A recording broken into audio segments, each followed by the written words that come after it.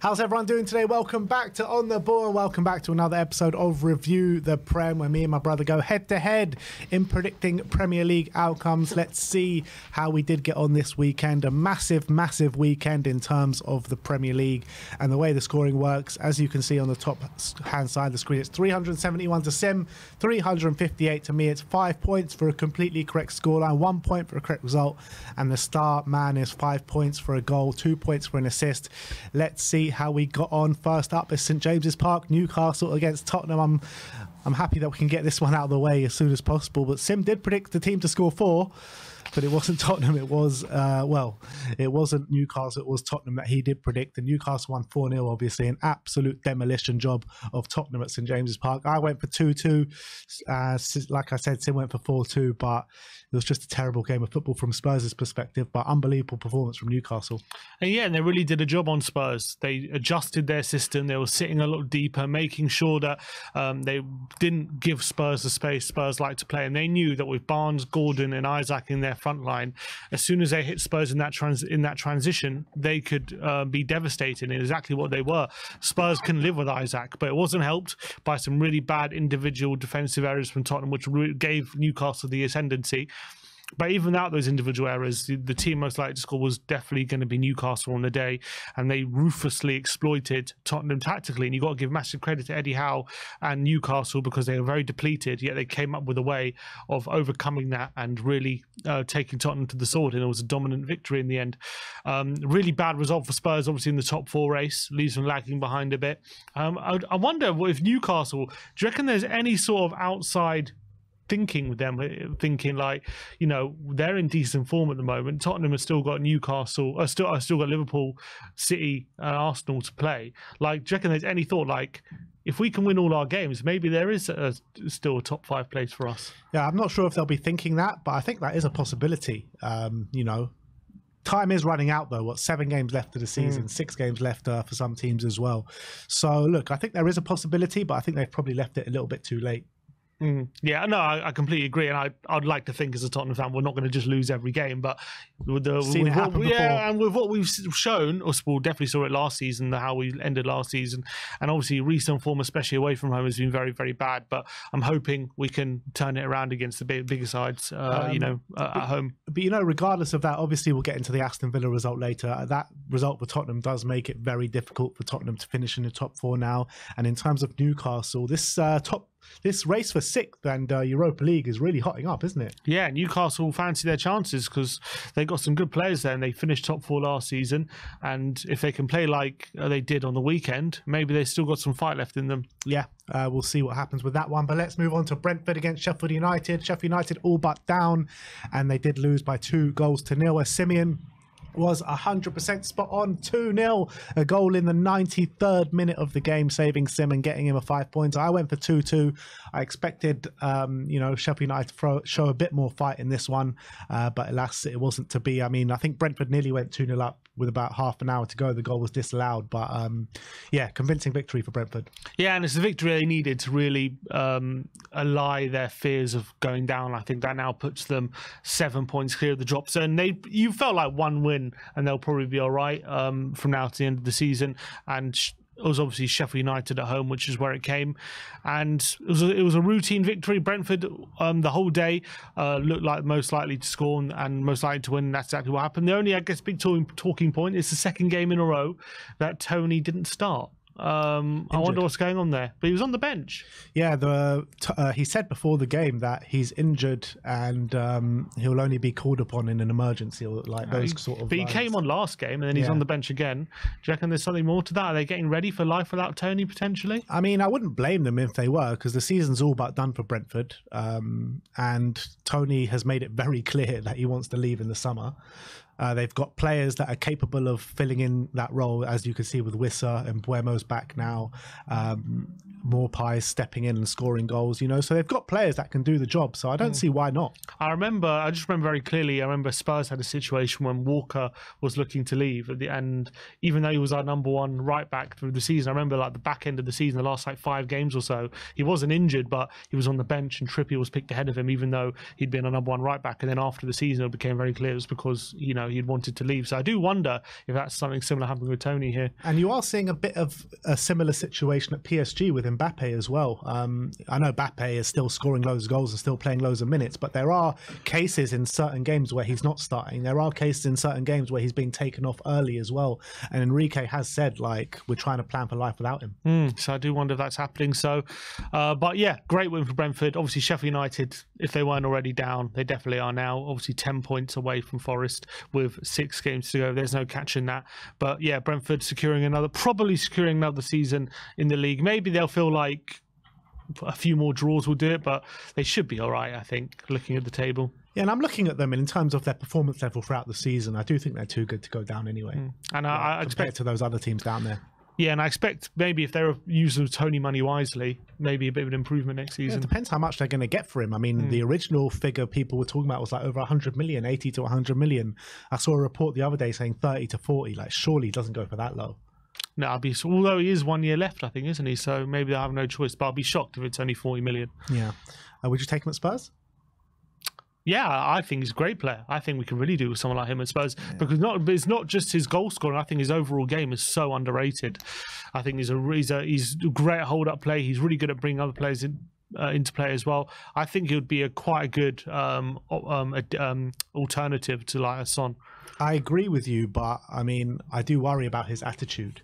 Um, he his attitude stinks, and for the amount of um, you know what Brentford have given him in his career, and yes, he's given them um, equally you know uh, success and great t- great years and great footballing ability, but the things he does um, in his personal life, in terms of you know going to the camera and saying "f Brentford" and going in interviews and and clearly stating his objectives and what he wants to do, and a, basically a "come and get me" plea to like the big clubs, it just doesn't sit right with me. That's fair enough, and that is definitely something to take into account. Yeah. Uh, but anyway, let's move on to Burnley Brighton. It did finish 1 1. Sim went for 2 2 1 to Brighton. I went for 1 1, so I got a big fat five pointer in this one. And I did say in the uh, build up that these are the games that Br- Brighton like to drop points in, particularly away from home. And Burnley, um, they're not losing too many games, but they're not winning too many games at the moment. And they need to start winning games if they've got any hope of survival. Uh, for sure. Um, albeit that you know with the points deduction, still six points, so it's not quite over for them yet. But it's looking really unlikely at this point with five games left, so only fifteen points to fight for.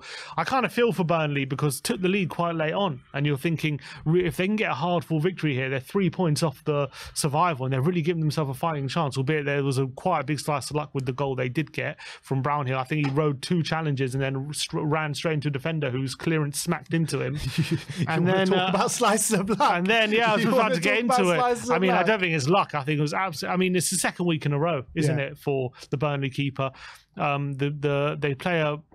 pass straight back to him, and he lets the ball roll, roll under his foot. And Kompany must be ready to absolutely deck him after that, because after what he did last week in that six pointer against uh, Everton, kicking the ball straight, straight at Calvert Lewin, to do that again when you're looking like you could be was getting three worse. points. Oh, he must be absolutely livid with him. It's like it's like one of those things. Surely now, like you, you can't go get back, especially if Burnley go down. Like you can't get back from that. It's a bit like Karius in the Champions League final. Like whatever you want to say about him, even though he had like a good year that year, there's no coming back from that. Yeah, the thing though is like he's come into the team because of the poor form of Trafford. I know. Uh, but Trafford was never as bad No. as these kind of uh, moments that you've seen in the last two games. Muric as well was like a key part of Burnley coming up in the Premier to the Premier League last season um, from with great displays in the Championship for Burnley. I think he played every single game in um, in the league for Burnley last season, but. These two mistakes are unforgivable, and they, they literally could cost Burnley their uh, top flight survival. cost them potentially four points here, and those four points put them right in the thick of it uh, for survival. So, um, Kompany must be gutted because they've stuck with him, haven't they? And you know, a lot of the time, people are saying they should sack him, and their form recently, in terms of performance, was massively improved. But unfortunately, because he's really bad mistakes, they're not getting the points that their form deserves. And at this stage of the season, if you're not getting the points, it's going to cost you, and you and that's what's going to relegate them. And uh, they look in the last five games, they've only lost one, so that's a massive improvement, but only one win there as well. Yeah. So you got to you got to feel for Kompany because he's really up their games. But when your keeper's doing that, what are you supposed to do? Yeah, it is only one win because of what the keeper's doing, mm-hmm. and um, it is massively unfortunate. But in terms of Vincent Kompany, if I'm the hierarchy of Burnley, I keep him in the job. I think he's done a really good job. I know they're at the bottom of the second bottom of the table and it looks like they will be going down. But look at the squad that they do have. Like they have the second worst squad in the league, probably, or you know, comparable with Luton and Sheffield United. So what what do they expect? Hundred percent. I think he'll he's going to take them straight back up if he uh, if he if they get relegated. Any other manager would have kept Burnley in the in the league this season. I, I don't know. The only question is if a Premier League club does come calling, will he stay? Yeah, that's, that's the only that's other big question for Burnley. Um, next up is Manchester City against Luton. It finished five one to Man City. Sim went for four 0 I went for five one. So another five pointer for me this weekend. And yeah, as you would have guessed, it was an absolute demolition job for Man City. I'm not quite sure how uh, Luton scored, to be fair, because. I think for 75% of the game, Luton didn't even get into the half of uh, Man City's half. I mean, the, the, whole of the first half was pretty much played in Luton's penalty area, wasn't it? And they just yeah. couldn't break them down. They got an own goal in the second minute, and you're thinking, all right, they are going to absolutely pulverize them in this half. And they just couldn't find the goal. Yeah, it was a weird one. It's like as soon as um, it was like as soon as Luton scored it, it pissed them off a bit. It was like, what do you think you're doing scoring against us? And then all of a sudden they went and scored a bit of a, a few late goals um, after that. Um, but it was a demolition job for Man City. Nothing really that you uh, would have um, was unexpected on the day. Um, they again had the luxury of resting players like Foden, who's been scoring goals left, right, and centre, and even De Bruyne, who's my star man, didn't even get have to get involved in the act, even though he started in this one. Um, it was a very very easy day. Uh, get minus for, points for a booking, no? Uh, no chance. Absolutely no chance. But um, a really easy day for for Man City. Um, Luton uh, no, took another battering, unfortunately for them. Again, they can't really seem to keep that back door shut, which has been a big, big problem for them. Um, they'll take heart. They never really gave up, and obviously did score a goal late on. But when you come up against Man City, it was always going to go in one direction. And wow, what a great result for City. And we'll get into what it means for the title race later, I guess. Yeah, Gvardiol goal and assist. What a goal from Jeremy Doku as well. And also, that's two goals, two goals in two games for Gvardiol with his right foot outside the box. Yeah, unbelievable. Incredible. Unbelievable. Um, Erling Haaland only being able to score from the penalty spot. There's something a bit off with Erling Haaland um, since he's come back from his injury, isn't it? He's just not hitting those heights. Yeah, he's coming for a lot of criticism. Uh, Roy Keane called him a League Two player. Um, he's still top goal scorer at the moment in the league, but you're right. He doesn't seem as sharp as self. He's not getting the same level of chances that he that he has been. And it seems as though he's only scoring as well against like the bottom teams when he faces good opposition. He can't seem to have the same impact. So, um, and also their best performance fr- uh, from a forward player. You know, is probably when they beat Villa 4 1 and Foden scored a hat trick and Haaland didn't even play that game. Yeah. So maybe there's a case for Haaland not being in the team at the moment. Yeah. And on Luton, I mean, how many own goals are they going to score? own goal against Spurs, own goal against Arsenal, another own goal here against Man City. It's yeah. just not going their way, is it? They can't seem to not put it in the back of their own net. Um, but obviously, they're not going to be judged on these games. Luckily for them, um, results kind of went their way uh, with the other team, so still gives themselves a fighting chance here. Big, big games to come. All right, we move on to Nottingham Forest against Wolves. It finished 2 2 at the City Ground. Both of us went for 2 1 to Nottingham Forest. And uh, this was a bit of the uh, the Cunha show uh, for Wolves. I thought he was brilliant, some really good goals in there as well. But someone that is stepping up for Nottingham Forest week in week out at the moment, maybe apart from the game against Tottenham, is Morgan Gibbs White. Um, seems to be really uh, doing his job in terms of trying to get them safe and sound.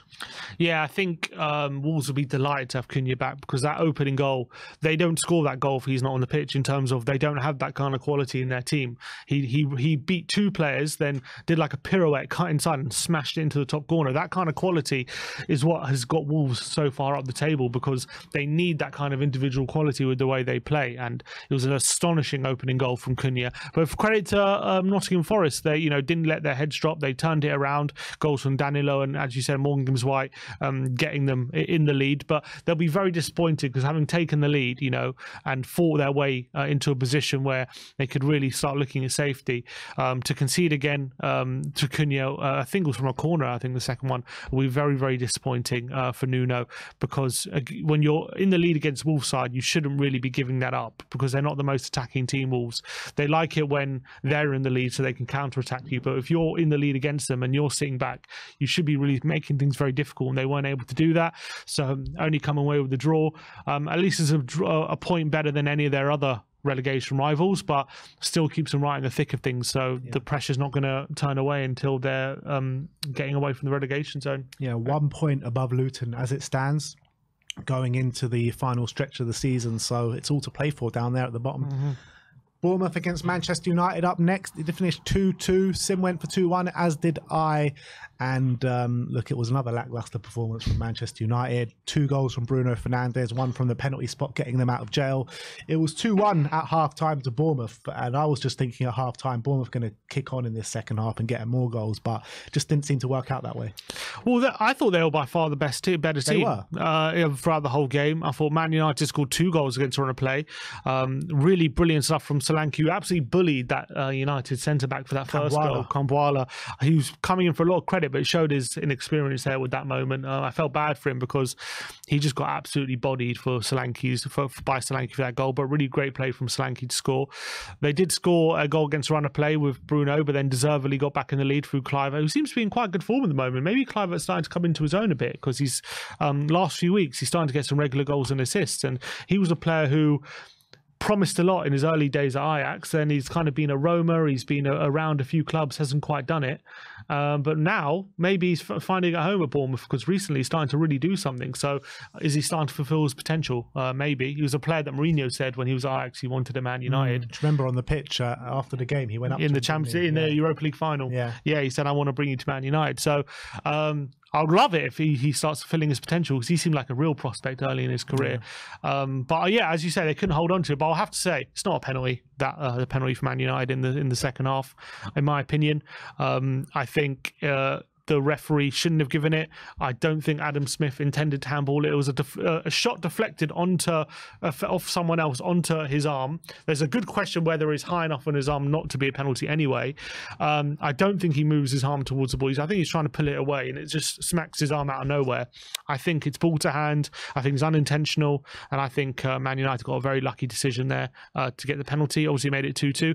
They got a bit of luck right at the end as well when the ref gave a penalty in the 90th minute, be overturned it. Obviously, obviously probably was just outside the box, but uh, Iraola made the case that he thought it was on the line. Um, so it was it was a very tight decision, and I feel bad for him because VAR got involved and decided to overturn it. Um, but it was a very tight call. But I thought Bournemouth, uh, if only one team were going to win, it was going to be them. And again, another really poor performance from Man United. Seems to be the same thing every every single week with them. Yeah, and I said last week, didn't I? I said Manchester United are the luckiest team in the Premier League uh, this week. Well, has any have they done anything this week to change our minds? No. no. They're still the luckiest team in the Premier League, getting away with a point at the Vitality this weekend. Uh, but let's move on to the Sunday games. Liverpool against Crystal Palace finished one 0 to Crystal Palace at Anfield. Sim went for two one. I went for three one and it probably should have been 2 1 or 3 1. The amount of chances that Liverpool had in this game. I mean, I couldn't believe what I was watching at times, particularly in that second half. I mean, it was all Liverpool. The chances that were being missed by the likes of Mohamed Salah and Darwin Nunez and these kind of players. I mean, like, how did Liverpool not win this game? It was unbelievable you got to give credit to Crystal Palace and the way they defended, the way um, you know they were keeping their structure and stuff like that, and a good goal for Eberechi Eze but Liverpool got to be kicking themselves. Yeah, to be fair to Palace, that first off, they probably could have been 2 2 nil up with some of the chances they had. Uh, as you say, as they put them up 1 0 up really early on. What, what, you have to say is a really great team goal. I think it was a 26 pass yeah, uh, move from Crystal Palace.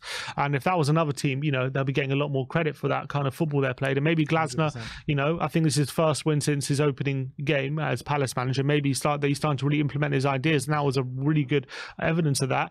They could have gone 2 0 up when Mateta goes through on goal and um, lobs the keeper, but it was a brilliant um, goal saving challenge by uh, Andy Robinson on the line.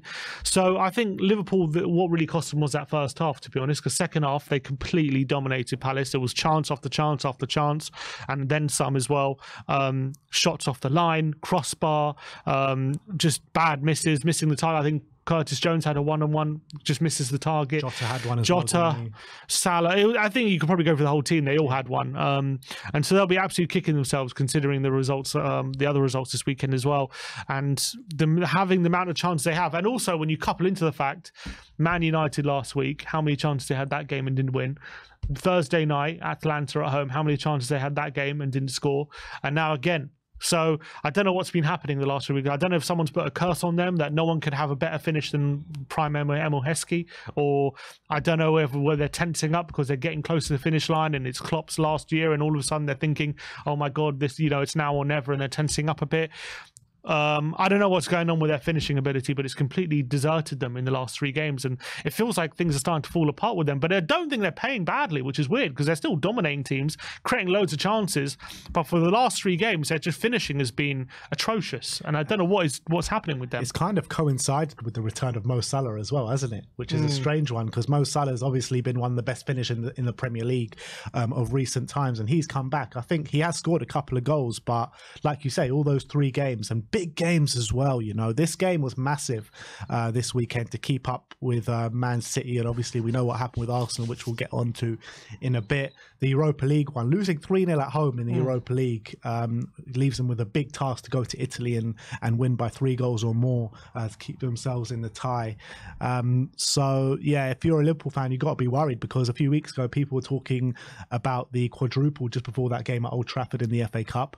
And now um, they could be going out with a whimper with only leaving themselves with the Carabao Cup. The only solace I'll have as a Liverpool fan is at least when, when you watch them, it's not like they look like they're running out of ideas. They are still consistently just creating chance after chance. Now, the finishing, for some reason or other, has gone completely against them. But you get, but you, if you're a Liverpool fan, you would think if you keep playing like that and creating more chances like that, it will start to turn again. But I do feel like stuff like this has been happening with Liverpool all season. To be fair, like how many times have you seen Liverpool pump a team and then only it goes to the last minute for them to to get the winner? I mean, I look at Liverpool and I look at Arsenal and I look at Man City, and I do feel like Liverpool have been the most unconvincing out of the three. Um, maybe. Uh, I think when they've been good, well, maybe lately they have been. I think in general, uh, especially you know when they've been well on top of teams and creating loads of chances. I think they've looked very good. Maybe I, I think defensively, I would agree with you. They're definitely the most unconvincing defensively, and from that point of view, if your finishing's off, you've all, uh, unlike you know um, Arsenal, City, where they're a bit more solid at the back, they're more likely to keep a clean sheet. When Liverpool having an off day in front of goal, they're likely to drop points or, or, or lose the game. So uh, maybe from that point of view, I, I agree. But I think they probably create the most chances out of all those three as well. So um, it's a difficult one from them. Um, I feel like they'll they'll feel like it's the everything's falling apart. But if they just got to keep believing, because um, if they can play, if they they could have won that game four one. You know what I mean? They, mm. you you could be watching that same game. It would have been four one. It would have been the same game. Yeah. So I wouldn't be surprised if um, they still. Uh, uh, have a good end to the season, but it's about how that these kind of performances affect them mentally. Because if they let them get to them, and then all of a sudden they start dropping in confidence, then all of a sudden that things can start to turn for them. All right, we'll talk about the ins and outs of the title race uh, once we get onto the Arsenal game. But let's go to West Ham Fulham up next. It finished two 0 to Fulham at the London Stadium. Both of us went for West Ham wins two one. And what happened to West Ham in this one? I mean, Fulham absolutely um, tore them to shreds at times. Three point two nine xg for Fulham at the London Stadium when they only had a 0.93. And um, Andreas Pereira hmm. with two goals on the day. I mean, Andreas Pereira since moving from Manchester United to Fulham, I mean, he has really shown himself to be a really good Premier League player and getting goal contributions quite regularity.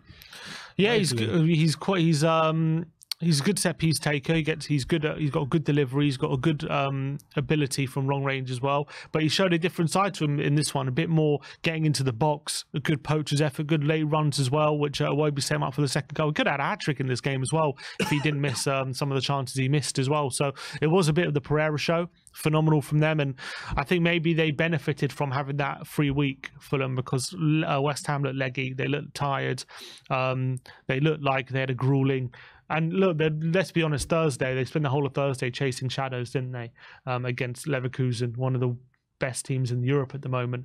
And I think that really showed in this one where they looked like they couldn't get near Fulham. Yeah. Um, obviously, Jarrod Bowen was missing well. He's uh, missing as well. He's a big miss for them.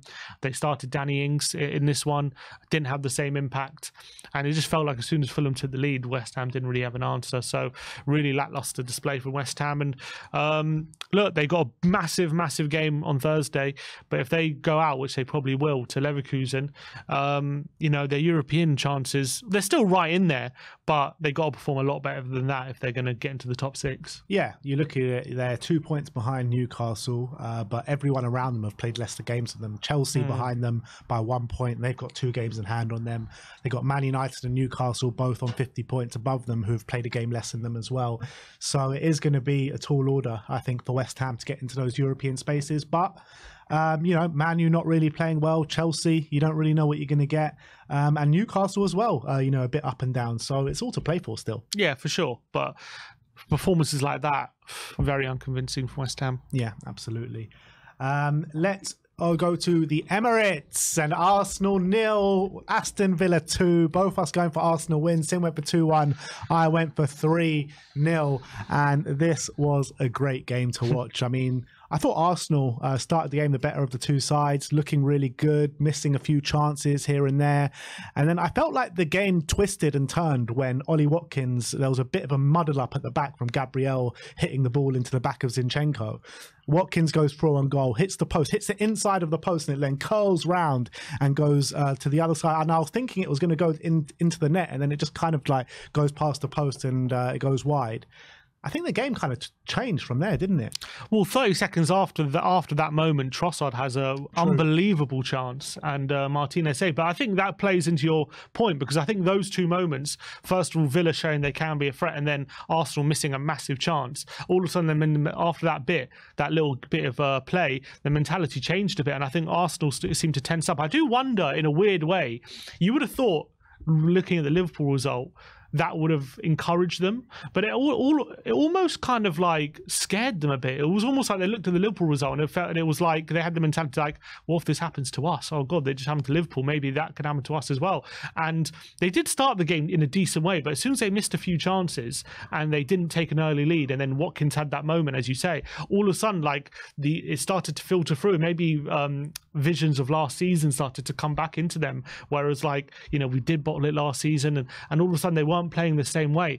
And I think it definitely came into a, a, to a head in the second half because I thought the whole second half was yeah. pretty much all Villa. Yeah. It was really odd. You would have, you know, Villa had a game Thursday night as well. You'd have thought Arsenal had a couple of days extra preparation. They would have been fresher and lasted longer in this game. But Villa were the ones who ended much stronger, especially in the second half. They were keeping the ball a lot better. They were dominating the ball. They were the ones making the one. Obviously, Tielemans hit the bar in the post. What an effort! Uh, late, uh, just before he scored, that was an unbelievable effort. Zaniolo was causing them all sorts of trouble down the left hand side, and then um, I thought they got what they deserved in this in the second, in right at the end there with um, Bailey coming on and obviously scoring that goal and and um, Watkins hitting them um, on the break.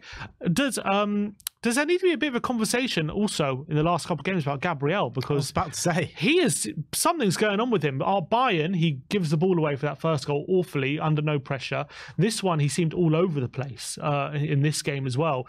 I don't know. He seems to be cracking a bit, Gabriel, for some 100, reason. Hundred, hundred percent. I was about to uh, bring that point up as well. Like these two games, two crunch games where they mean so much, and he's been brilliant all season. He really has been brilliant all season. One of the defenders of the season.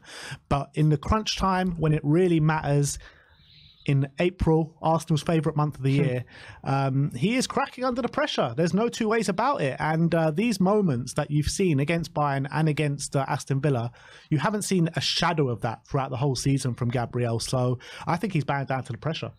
Um, there's also a bit of a conversation about Arteta because you know, they've played Havertz in the number nine recently, and I think they've been in great form. Won like what 10, nine, of the last ten games. They've been playing Jorginho in the midfield and Kiwior left back and he changed up for this one. You could argue, look, he needs to change up, like a bit like Man City. They need to change up to keep things fresh, but they just didn't seem the same vibrancy as they have been recently. Have uh, Jesus, I thought had a bit of a shocker. I don't think he was really doing much in this game. Havertz didn't look as comfortable in midfield than he did uh, maybe in the number nine. They maybe missed Jorginho a bit. Zinchenko, I thought was getting exposed on that right hand, that left hand side. He's been terrible. terrible. and I thought he was awful for the goal as well.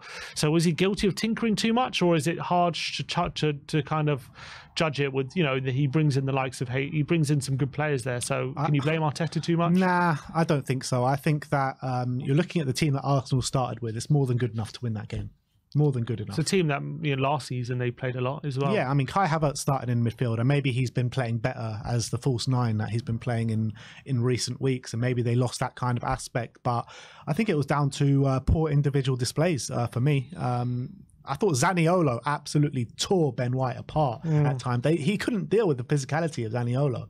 I mean, these kind of individual performances, Ben White, Gabriel, Zinchenko, I think lost them that game. And I thought uh, Declan Rice as well over the last couple of games gone missing a little bit. Yeah, I agree with that. Um, obviously, Watkins uh, sealed it late on, and it was, and also another thing uh, that people pointed out in this one, which was quite odd. Um, Arsenal go one 0 down. What one? 83rd minute and you look at the stadium when Watkins scores, it's yeah. empty. Yeah. And it's really strange because you're in a title race. You know, you know there's lengthy stoppage times as well. What was it, seven minutes or whatever, an eight minute stoppage time? You've seen how many times have teams turned it around in stoppage time this season? Two, Particularly Arsenal. And Arsenal. And even even not just one, score two goals as well in, in stoppage time. So do you reckon as well, because it was a very drab ending for Arsenal, do you reckon the players would have looked around and seen, you know, they're supposed to be in a title challenge. Not only are they in a title challenge, they're in great form, and yet they're looking around. There's an empty stadium when they're supposed to be pushing right till the last minute. I thought that was really poor form from Arsenal fans. I think it's embarrassing. It really is embarrassing from Arsenal fans. You're going 1 0 down in one of the biggest games of the season you got a chance to go top of the league.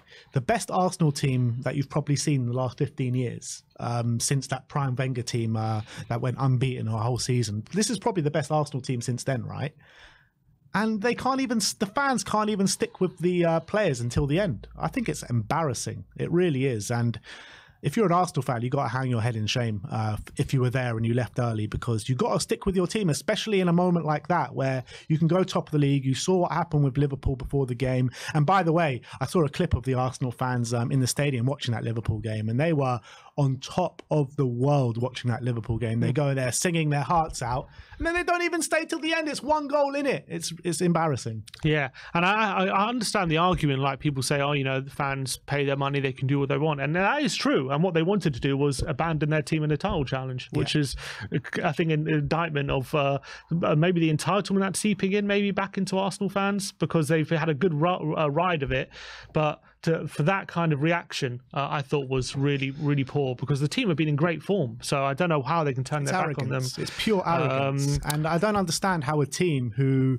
haven't won a title since 2005, I think it is 2004, 2005, 2004, yeah. whenever it is, to be so close to a title, to be so close to challenging at this stage of a season, how they can have so much arrogance right, about them. It's mad. Uh, uh, turning attention to Villa, though, unbelievable performance, yeah. unbelievable result for them. Massive credit them, to Villa, massive. Putting them right uh, in the um, in the favourites now after Spurs' result for the top four. Um, what was incredible um, before the game, Opta, before this weekend, sorry, Opta put um, Villa at 35%, finishing top four, and now they're at 70% after one week. So it shows how much it's flipped. Um, yeah. The chances, obviously, Villa's run in, although it's not easy, it's kinder than Tottenham's, who's couldn't get much harder because we play the top three. Yeah. Um, although Villa's run in, I would say they don't have any easy games because um, we've also got two of the bottom three still to play as well. Yeah. So it is, it's all still to play for. But after that performance, what a shot on the arm that will give Villa because it seemed to be um, dying a bit, like their form and their belief.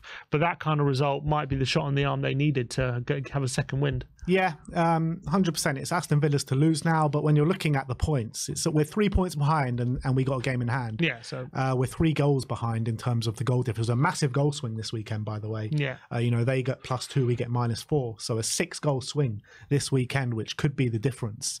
Um, But look, it is all to play for. Uh, we'll see what happens in the next couple of weeks. Spurs have got an incredibly hard run now, uh, where we play Arsenal next. We got Liverpool, uh, we got Chelsea away in that time as well. So um, we'll see where we're at after the next three games. Um, And uh, Unai, he's, Unai's got form at the Emirates, doesn't he? he does have form at the He- uh, Emirates. He's got form. Villarreal, uh, I remember he, he stopped them in the semi-finals, and uh, he's come back to haunt them, haunt them a couple times Done now. a double over them.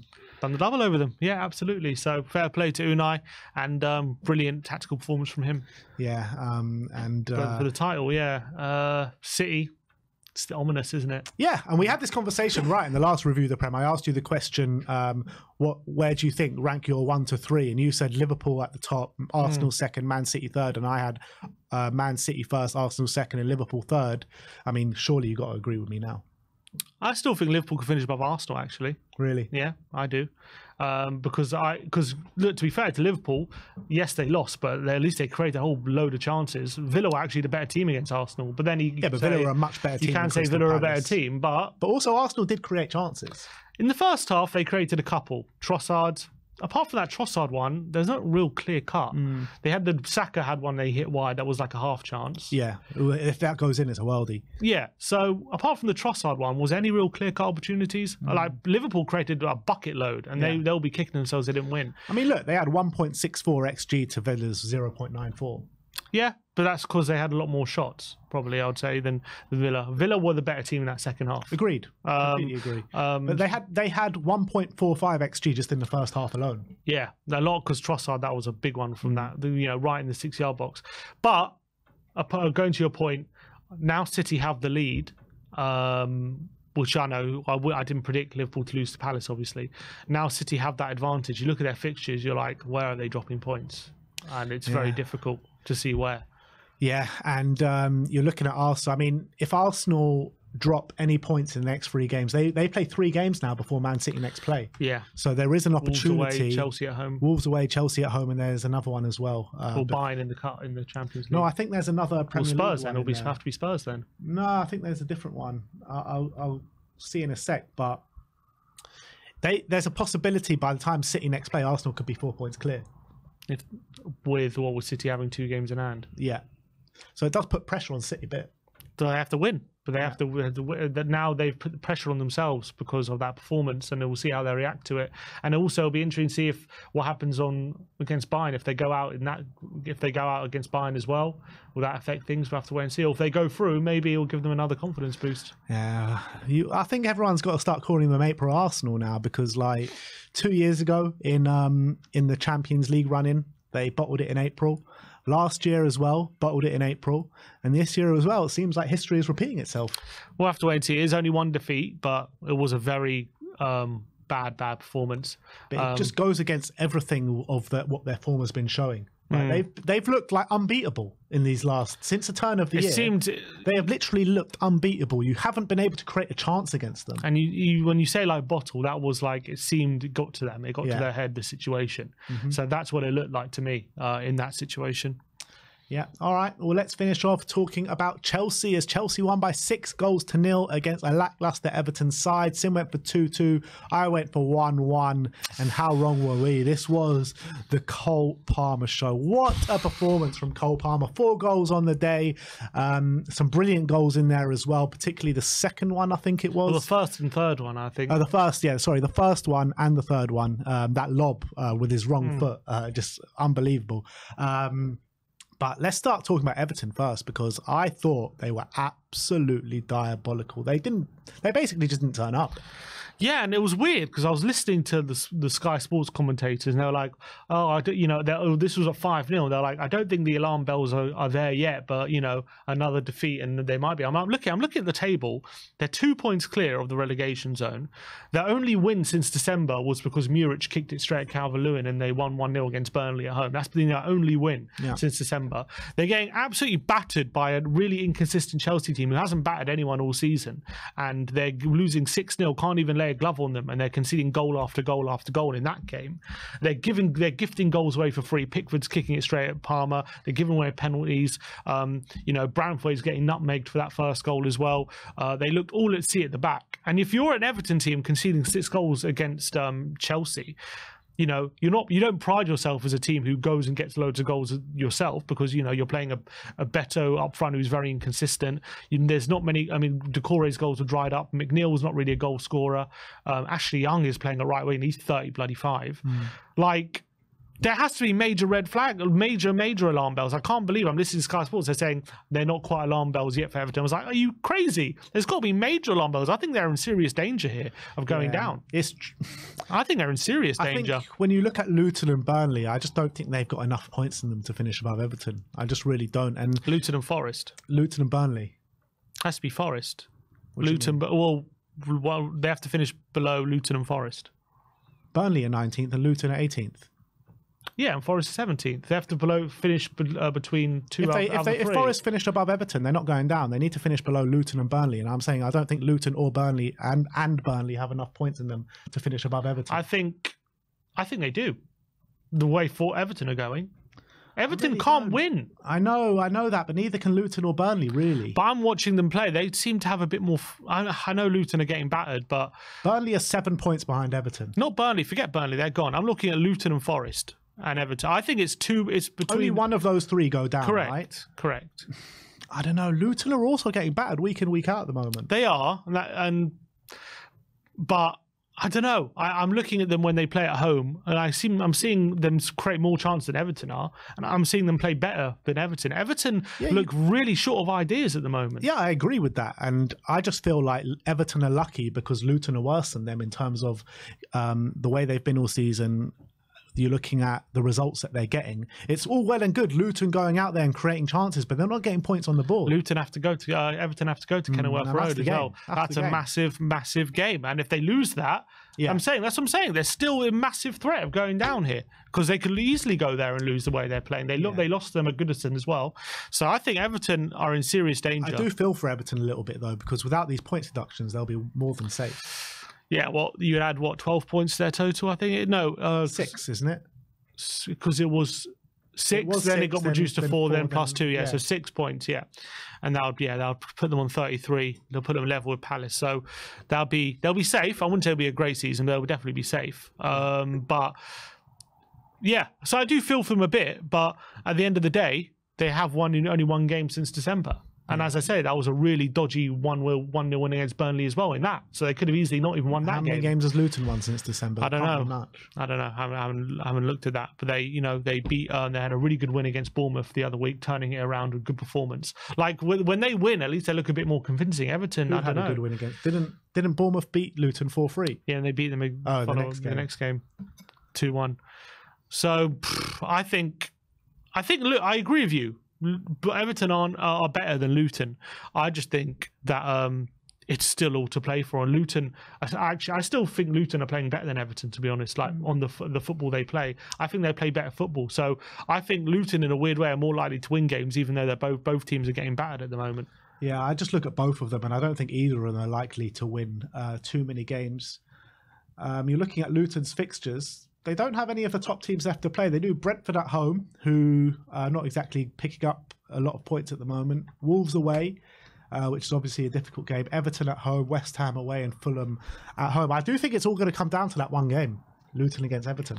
If Luton can beat Everton, what a massive, is at massive Kenilworth game. Road as well. Yeah, that could, that could be an absolute massive game. So definitely Everton, and also Everton play Forest this weekend. So massive games coming up for Everton. I- I mean, if And then they got Liverpool. and they so does it like they they they're very much in it, very much in it, in my opinion. I think alarm bell should definitely be Go ringing on. for them. Who's your prediction to go down then? You're going Everton. No, I still think it'll be Luton. But, but, but, but I'm just saying, I think it's a lot like I don't I don't look at this situation thinking, oh, they should be all right. I'm thinking they should be panicking right now, in my opinion. But in terms of Chelsea, um, brilliant performance on um, on the face of things. I thought Nicolas Jackson scored a brilliant goal. I thought well. it was brilliant all game. Um, yeah, he was uh, goal and assist. I think it was for Nick Jackson. Uh, but we got to talk about that embarrassing moment, that penalty. Poch looks so angry about that after the game. Palmer uh, tried to play it down a bit with Gilchrist in the um, thing after the game, but from both of them, from Madueke and um, from Nick Jackson. Such embarrassing scenes. You're 4 0 up and you're fighting and scrapping like that for a penalty when it's clear all season that Cole Palmer is the penalty taker. And Dele Alli made such a great point in the um, in the comms after the game. He's like, well, no one was fighting for the penalty at the last minute against Manchester United to go 4 3 up. And now, because it's 4 0 and there's no pressure in it, you're all fighting over a penalty. It was embarrassing. It was embarrassing. They, the apps, they were like kids in the school ground, trying both of them to go running, grab the ball, fighting the ball with each other, and then getting all pissed off because they, you know, Palmer's the penalty taker and he's the one who should be taking it. And also just a stat pad as well, just to get your goal and assist numbers up. It's not because you think I'm the best person to take this penalty because I think we need to take the lead here. It's like I just want a goal to get my goals and assists. It was 4 0. And it was 4 0 up. It's just embarrassing. It was an absolute embarrassment. And uh, thing was when um, when uh, Gallagher takes the ball off Madueke and gives it to uh, Cole, right? And then Jackson comes back. Yeah, it's like he? what? You you you already given up, and now you're trying to go for afters. I, I don't know what you guys are playing at, to be honest. Um, but look, credit to Chelsea, big um, um obviously big win. They're now eight unbeaten. To be fair, although they had some poor results against Sheffield United and Burnley, they are eight, eight unbeaten, so they do deserve some sort of credit for that. And they're only th- uh, three points off top six of the game in hand, uh, albeit that is Spurs, but um, they have a game in hand. So you know, if Poch can get in the top six, they got an FA Cup fi- um, semi-final on the weekend. You know, their season is still all to play for all you of a sudden. Do you think Chelsea fans would have taken that before the game, uh, finishing sixth, FA Cup, uh, let's say final, and you don't know what happens, and a League Cup final loss uh, to Liverpool? Well, we won't say the kids. Um, would that have been a good season, judging on what Chelsea did last season? Probably, I would say so. I think that would have been progression. So Yeah. is Poch getting um, a bit of a bad rap then? Well, they are still ninth, so Yeah. it depends where they finish. But if they were to get in that top six, and you know, depends what happens. Uh, forget what happens against City because you know they're probably going to go out. But you know, semi-final in the well cup. against City in the league this season. True, they might they might go through semi-final or maybe even a final of the FA Cup, final of the League Cup. Top, if they get into the top six, I think that's a good season for them. And Poch will definitely all of a sudden be things will be looking very different for him. two losses only uh, since the turn of the year for Chelsea. And when you think about the narrative around Chelsea and how everyone's they've been like a, fan, a factor of fun uh, to laugh at this season. I mean, they're not losing that many games, are they? I, I look I look at them compared to Manchester United, and I look at Chelsea as a much better team than Man United. definitely much more well coached um, for sure. They look they they're uh, when they're in games, I think they look a lot better than Man United do. And as you say, I think since the turn of the year, only the top three have more points than them. So I think he's probably doing something right. Yeah, and in those last five games, though, they did draw with Sheffield United and Burnley, Yeah. which makes that Everton result look even worse. It wasn't just uh, the draws; it was performances in those games yeah, were terrible. it's true. Um, but if they did get those points on the board, they'd be fighting top four, Yeah, which is crazy to think about. which is mad. But uh, look, let's just finish off talking about Cole Palmer. Level goals with Erling Haaland this season. Um, what an unbelievable purchase and pickup he's been with Man City. First of all, do you think Man City regretting letting him go? And second of all, does he sh- have a shout for Player of the Year this season? Both on both counts, I would say, yeah, for sure. I think man, I, I mean, our Man City regretting letting them go. They could win another treble. I mean, uh, you're not going to regret letting someone go when you want when you when you win the treble. So He's a guy that's come through the academy and True, and that's got to be a massive. Uh, and also, he had such a good start to the season for them. He scored in the Community Shield a great goal, didn't he? Yeah. And um, maybe at that point they should have said, um, uh, "You're going to be our number one winger this year," but maybe they didn't quite want him given given those guarantees. Um, it was it sounds like Palmer said either send me on loan or sell me. I think he said, didn't he? Um, Yeah. Or sorry, send me on loan. No, Palmer said send me on loan, loan, and, and Man said- City said, no. "We're only selling you or keeping you. We're yeah, we're not sending you. on. That was it. Um, so they they probably are regretting it because they sold him 47 million. His his value's probably tripled now, uh, and then some. For him to be level on points with Haaland is astonishing achievement in his first season, especially for such a poor, you know, inconsistent Chelsea team. You know, people putting comparisons to other attackers. What other attackers would be in this Chelsea team and putting those kind of numbers up? No one. It's There's no incredible. it's incredible. I do liken it a bit to what Poch did with Dele Alli um, in the early Spurs days. You know, he was getting 18 goals in a season. I think it was was his best numbers, and um, I see that I see a few similarities in Dele Alli and Cole Palmer. Yeah, um, the way they play, just their freedom they get, um, the confidence that Poch gives them as well. He's having an astonishing season. Obviously, he's more than booked himself in that playing for the Euros. He should be starting, to be honest, in the form he's in. Um, he seems unstoppable at the moment. That's what consecutive home hat tricks as well for him now. Um, I think he scored eight goals or something in his last three or four games. it's madness. It's absolute madness what he's doing. And the quality of the goals, that first goal, that quality, nutmeg, 1 2 with Jackson, then curled it outside the box into the bottom corner. Unbelievable. Then that third goal, right foot. First um, gets it off from 40 yards. And if you see the finish, it's not easy. He curls it outside the post and in back in, into the goal. I mean, the quality in this player is astonishing. And I think not even the most optimistic of Chelsea fans could have imagined what a season he's having. So player of the year. I think it's hard to look past him. Young player and player. He should be. I remember when Bale won both. I don't see why he can't win both because he could be top goal scorer and top assister. So why It's not? true, but also you got to look at Ollie Watkins as well. You have to with if if Villa as well finish in the top four, he would have been central to it. He also could finish off on Golden Boot this season. He's only one goal behind. True. The amount of assists he's getting as well.